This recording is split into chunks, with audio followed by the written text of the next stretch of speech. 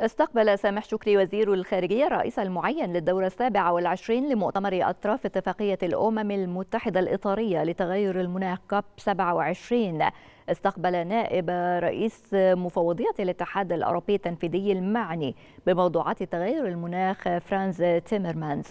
وأجرى الجانبان مشاورات موسعة شاملت الاستعدادات ل COP 27 والقضايا ذات الصلة فضلا عن آليات تنفيذ الصفقة الأوروبية الخضراء.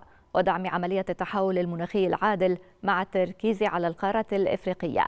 كما ناقش الجانبان أفاق تعزيز أطر التعاون الثنائي والإقليمي بشأن القضايا الأساسية لتسريع الانتقال إلى اقتصادات مستدامة ومرنة وخالية من الانبعاثات. كما اتفقا على تعزيز التعاون والدفاع عن العمل متعدد الأطراف وعدم ادخار أي جهد لتحقيق نتائج طموحة في مؤتمر كاب 27 الذي تستضيفه مصر.